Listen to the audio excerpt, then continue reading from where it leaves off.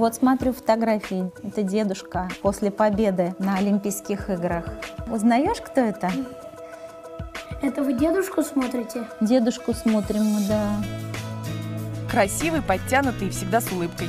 Юрий Чесноков – волейболист, тренер, чиновник или просто дедушка Юра – любитель музыки и стихов, увлекающийся изучением разнообразных наук. Богатая яркими событиями жизнь, застывшая на старых фотоснимках, достойна уважения и памяти потомков.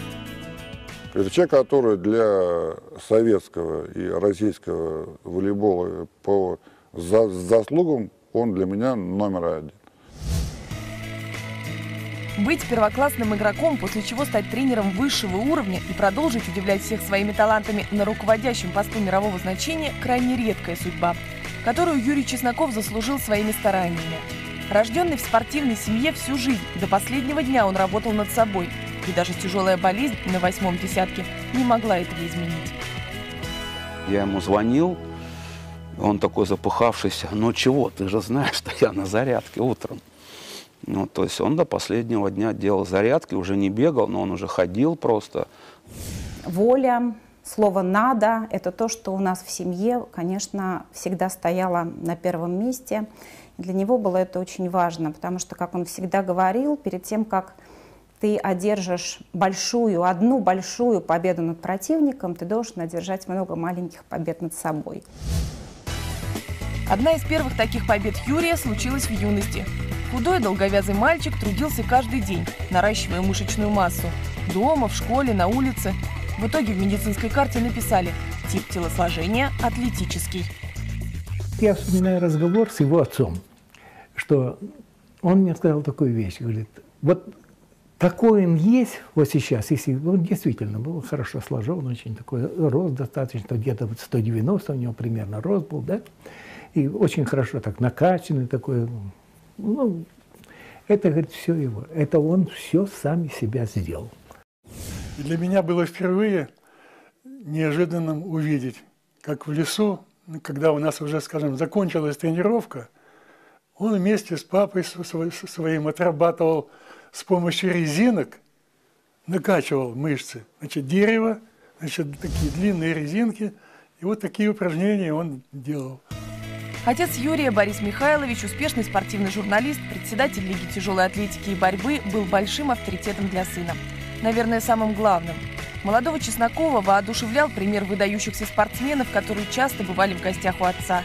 Чуть позже уже сам Юрий стал примером для подражания.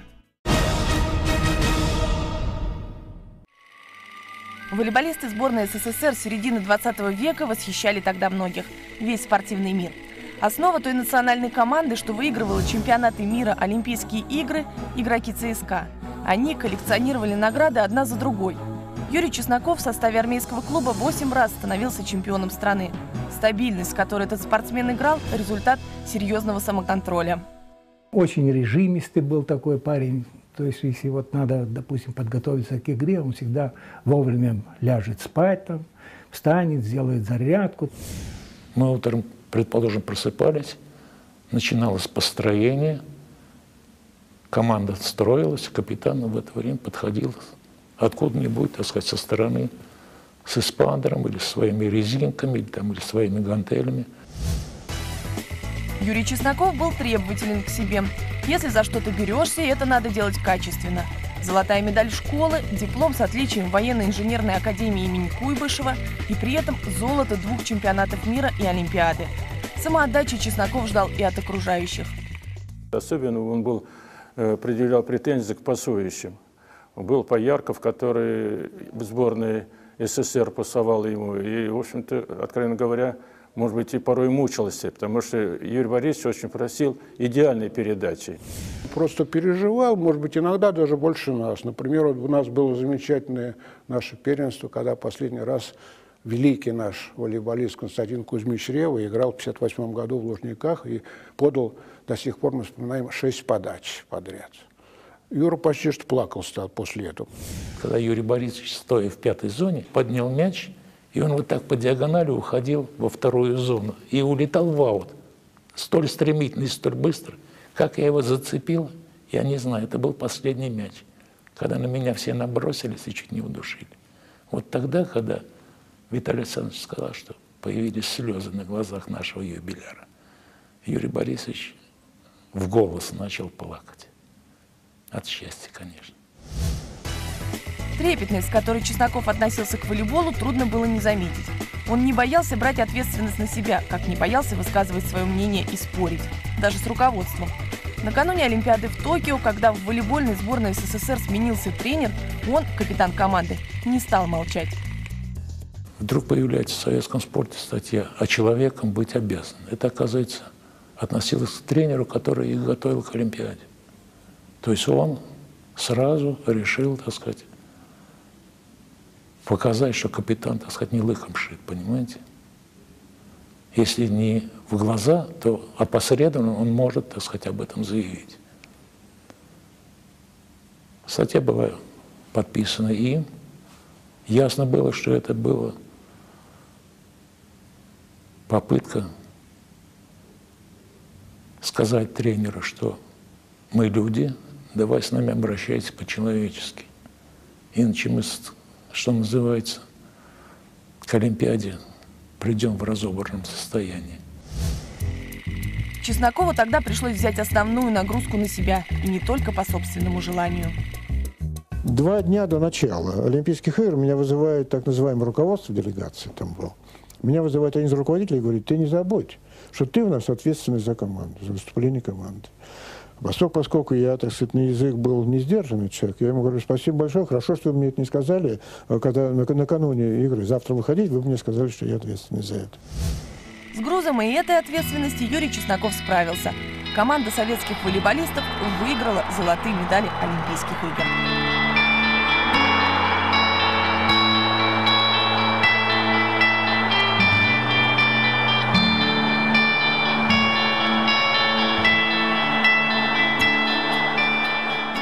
Он был, безусловно, надежным, хорошим, техничным, выполняющим уверенно свою роль игроком. Красавец наш Юрий Борисович. Молодой, симпатичный, симпатичный красивый мужчина был. В музее ЦСКА игроки той непобедимой команды вновь в компании своего капитана. На фотографии Юрий Чесноков не в игровой форме – Спортивная и военная карьера целеустремленного красавца развивались одинаково успешно. С присущим ему упорством Чесноков изучал науку в адъюнктуре родной академии, преподавал, дослужился до полковника. Но ничто не могло погасить страсть к волейболу. Когда Юрий Борисович стал тренером, его подход к делу не изменился. Требовательный был к себе и беспощаден другим. Вот я могу вот так сказать. Вот он как к себе, так и должны были все остальные игроки там, и внешний вид, и опрятность, и дисциплина и так далее. У него очень сильный был контроль. Такое ощущение, как только чуть-чуть человек расслабился или там не так делает, он как будто все время он как будто на тебя смотрел. Когда он заходил в зал на завтрак или на обеде, там все чуть-чуть так вздрагивали, значит, если там не, не так, как кто-то сидит или еще что-то там ведет, значит, было тут же замечание. Его боялись, наверное, во всем мире. Потому что человек достаточно жесткий. Если он чувствует не так, он мог... Э, был, как же он говорил, не забывай, что ты офицер, коммунист, можешь оказаться через день на Дальнем Востоке. Не было такой любимый. Вот, ты, мол, мальчик-то все-таки знает, кто ты, кто я и кто ты, короче говоря.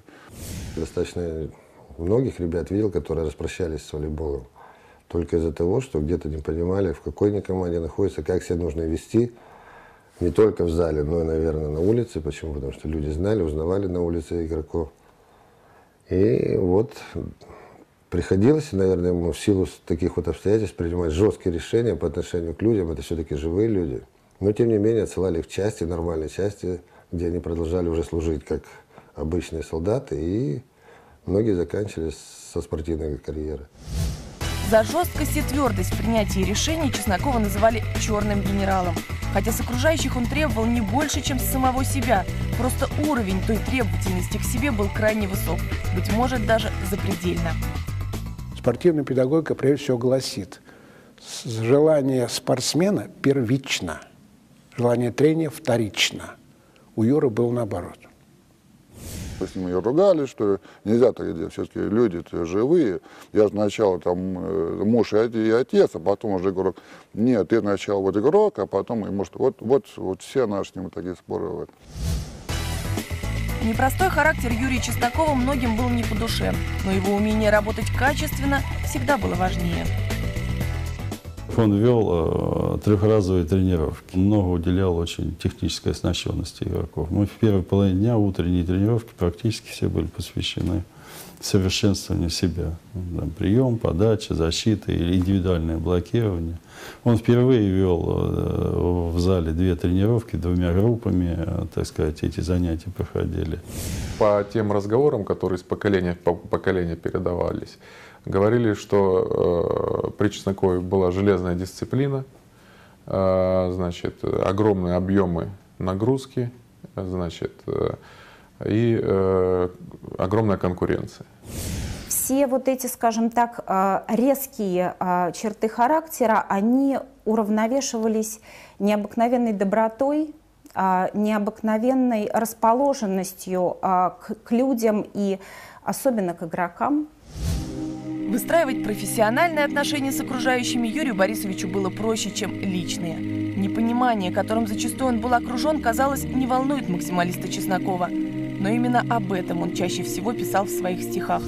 Хотя их он почти никому не показывал. Лишь на могильной плите, которую, как же это на него похоже, еще при жизни заказал Чесноков, четыре строчки. На судьбе моей пятна алые, снегом белым пурга заметет. Положить мне цветы запоздалые никогда и никто не придет. В этом Юрий Борисович ошибся. К его могиле всегда протоптана тропинка и лежат живые цветы. В то, что я говорю, я верю. Я это пытаюсь аргументировать, а не просто потому, что я вам говорю, что я вот там Чесноков и так дальше, и дальше. И если у меня это есть, мои убеждения, то мне, я извиняюсь, может быть, эта ситуация уже конфликтная. Мне совершенно все равно, с кем я этот вопрос обсуждаю. Отстаивая свое мнение, Чесноков всегда опирался на свои знания. А они были, по сути, энциклопедические. В разных областях. Анатомия, физика, философия. Все это пригождалось в работе тренера. ЦСКА, а впоследствии и сборной страны. Ни разу не чувствовал себя какой-то там, или у меня был спад по физическому или психологическому состоянию. Мы были всегда на пике. Вот это вот какое-то вот чувство, вот это вот, когда нужно где-то сбросить нагрузки, когда нужно где-то добавить, наверное, вот это вот у него это была уникальная вещь, которая, ну, наверное, присуща единицам. Чесноков тренер хорошо чувствовал не только физическое состояние своих подопечных, но и психологическое. Тренировка для психики могла поджидать волейболистов в любой момент – у нас идет какая-то игра, ну, заранее понятно, что противник на той стороне слабее, чем команда ЦСКА. Но, тем не менее, мы играем так, ни шатка, ни валка. И вот Юрий Борисович, у него была любимая поза, когда у него нога на ноге, вот так вот он сидит, раскачивается, а мы играем не очень хорошо. И вот он, значит, сидит просто, сидит и смотрит на нас. И когда у него начинают желваки вот здесь вот ходить, это понятно, что он уже начинает нервничать. Но не берет ни одного тайм-аута, он не подходит в перерывах, когда меняемся площадками. Он вообще на нас не обращает внимания. Он просто на нас смотрит. И вот тут начинаешь себя чувствовать как-то так вот не в своей тарелке. То есть ты, ты начинаешь понимать, что ты что-то не то делаешь. И потом просто он заходит в раздевалку и говорит два слова. Я надеюсь, вы поняли, кто вы такие. Промолчать или найти нужные слова. Юрий Чесноков понимал, как именно воздействовать на человека для достижения результата даже если этот человек самый близкий, например, младшая дочь, начинающая теннисистка, которой он помогал тренироваться. Резкий склон вниз, спуск, какие-то там кустики. И я стою наверху, и я понимаю, что я сейчас, наверное, умру, если еще нужно будет что-нибудь сделать. И вдруг он говорит, на старте рекордсменка мира в горнолыжном спуске Анна-Мари Прёль. И вот я должна была между этих кустиков, значит, вокруг, вот, понимаете, и, и хватало сил. И он мне всегда говорил, вот видишь, ты только что собиралась пустить слезу и сказать, что ты не можешь. Да ты можешь. Вызывать улыбку окружающих у Юрия Борисовича тоже получалось на отлично. Он сам любил посмеяться и проверить на чувство юмора других. Иногда, значит, он так подкалывал игроков, и я так понимаю, что это был своеобразный тест, на какой, каком, ну, как ты можешь отреагировать против него. То есть, если ты ему сможешь ответить достойно, Я не говорю, что там грубо или как, но, по крайней мере, попробовать ответить, ответить с юмором, то значит, он тебе какой-то плюс ставил. Если ты промолчал и, и голову повесил, значит, он тоже минус какой-то ставил себе. Методы тренера работали. У ЦСКА Чеснокова было 10 побед в чемпионате СССР и 5 кубков европейских чемпионов. О его клубных успехах и как тренера, и как игрока напоминает бюст в аллее славы ЦСКА. Но скульптор сумел передать лишь внешнюю стать. Внутренняя борьба, которая была так типична для Юрия Борисовича, осталась лишь в памяти тех, кто его хорошо знал. Ссылаясь на э, своих коллег, своих более старших коллег, он всегда говорил, ты знаешь, что такое счастье? Счастье – это голубое небо и красный флаг над стадионом. Э, вы знаете, это действительно, это то, что он чувствовал, это то, как он жил, и то, как он, наверное, хотел бы, чтобы жили люди вокруг него. Юрий Борисович, я могу сказать, что э, очень сильно переживал э, финал Олимпиады 1976 года. Э, я смотрел э, этот матч и пытался задать ему несколько вопросов. На что, значит, получил ответ, э, скажем так, что не надо этого делать. Это была вторая попытка Чеснокова тренера завоевать олимпийское золото. Позади два выигранных чемпионата Европы, второе место чемпионата мира, серебро Олимпиады 1972 года. Но для Юрия Борисовича в спорте существовало только одно место – первое. Еще одно серебро в Монреале стало большим ударом для тренера. 3-0 мы все команды обыгрывали, вот попали на Польшу здесь. Тоже при счете 2-1, там 13-9, Чернышов нападает, одни кричат «бей, не бей», он замахнулся и мяч ему на голову упал. И он спрашивает, что-то мне не нравится, Зайцев может поменять там. Я, ну что мы, если мы ведем, что мы будем менять? И потом Зайцев ему пасует еще три раза. Конечно, вот тут все это перевернулось. Ну, может быть, он чувствовал, что надо Сторонского был поставить. Вот, вот этой концовки, конечно, может, Зайцева опыта не хватило. Может быть. Дома а, была настолько тяжелая обстановка. То есть вот у меня, а, мне тогда было там 9 лет, то есть там маленький ребенок, но я очень хорошо запомнила, что мы, во-первых, не могли об этом разговаривать. И вот было ощущение, что ну, это траур, вот просто траур. Переживал он безумно тяжело. И он всегда начинал копаться в себе, где не доделал, что не доделал. Взаимопонимание между игроками и тренером, которое без того было довольно трудно выстроить, после проигранного финала Олимпиады вовсе исчезло. Со мной 76 года не здоровался лет, наверное, 9. Потому что он посчитал, что мы, которые играли, там что-то не выиграли. Поэтому ну, я был такой не один. Вот. Это со всей командой вроде как. Вот. Он считал, что вот, виноваты не он, а мы, короче, поэтому, ну, все-таки 9 лет, не здрасте, ну, понимаете, да, вот такой человек. Мы с ним как, потом договорились, это в 85 году, для волейбола я тебя друг, в жизни я тебя враг. Находиться рядом с Юрием Борисовичем было непросто. Лучше всего это удавалось его семье, жене и двум дочерям. Но где бы Чесноков не применял свои знания, окружающие испытывали уважение к его профессиональной деятельности.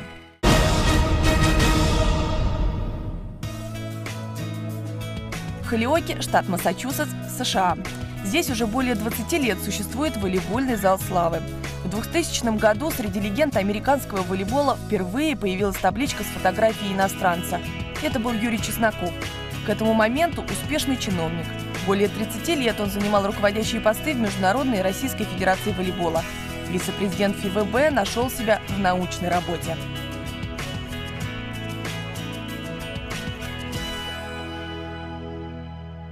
такого глубокого уважения, такого глубокого авторитета я не знаю, кто имел Международной Федерации волейбола. На всех э, совещаниях, в которых он принимал участие, ему одному из первых давалось слово. Э, вот, по тем или иным э, позициям он высказывался и очень внимательно слушали. Ну и э, его влияние было очень-очень серьезным. То, что сейчас идет счет в волейболе, это он сделал. Это вот, сказать, с его подачи, он очень любил э, этот, но теннис, она счет, как сама тоже считает, это чисто, ну, как у тенниса. На первых этапах своей деятельности э, я постоянно ощущал, что отблеск уважения к России происходит от того, что вот такой человек, как Чесноков, он россиянин. Он представитель нашей страны. О карьере волейбольного чиновника Чесноков думал еще будучи тренером. И не просто думал, а действовал. Начал с английского языка. И неважно, что уже скоро за 50, учиться никогда не поздно. И он учился. Я помню, мы ездили на тренировку, надевал эти наушники, в то время еще, ну, не сейчас не эти модные, которые, а еще плеер такой был, стерео. Он кассету вставлял. Мы сначала думали, что он слушает музыку, как и все, а потом оказалось, что он просто-напросто начал изучать английский язык.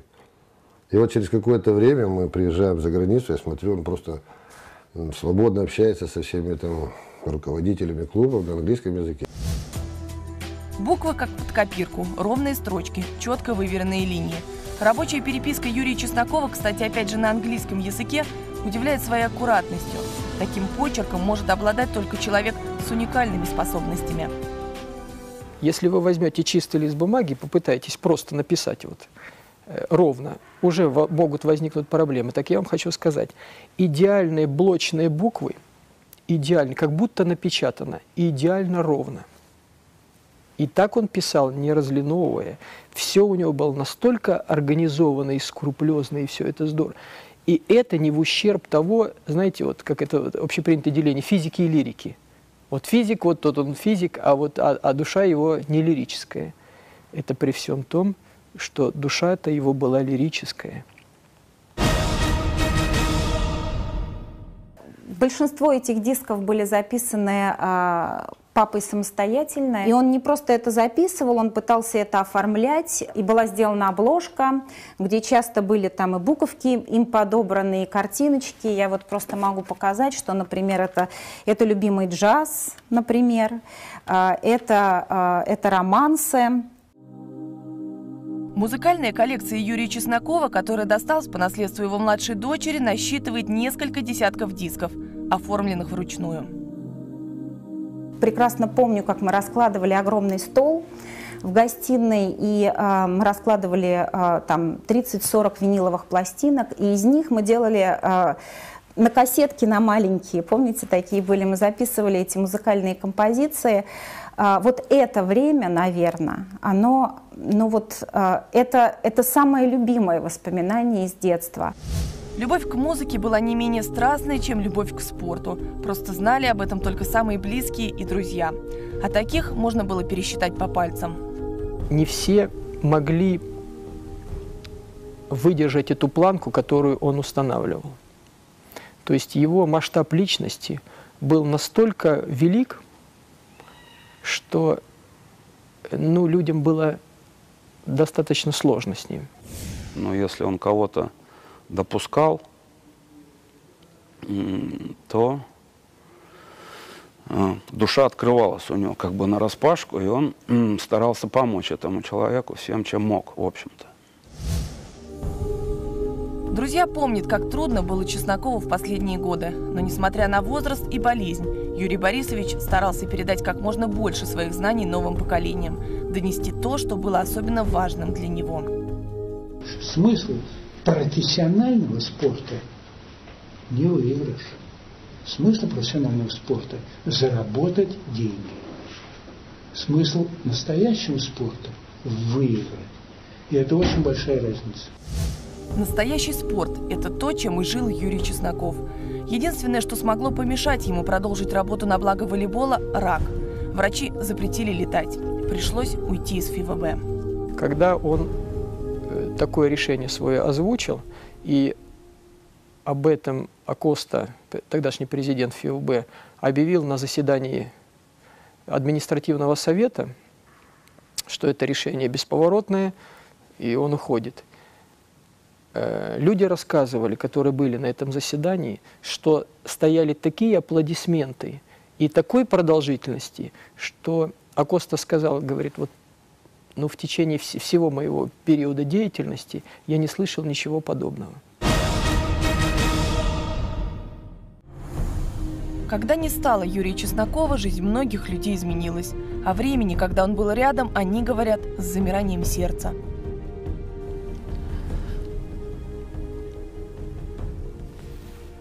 Ну, для меня было очень важно, потому что я становился как бы на там, тренерском поприще сам, и опереться было, в общем-то, не на кого. Вот, и когда появился Юрий Борисович, ну,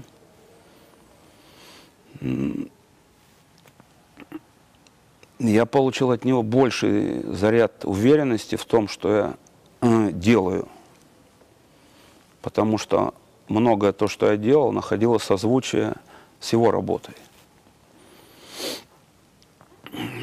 Поэтому Юрий Борисович, ну, и старший брат, и старший товарищ, наверное,